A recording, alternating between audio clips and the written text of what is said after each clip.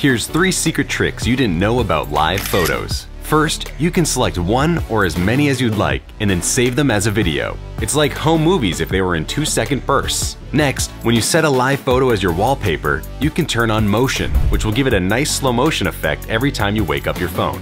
And finally, when you select a subject in a live photo and save it as a sticker, turn on live to make it animated. Your messages will never be the same.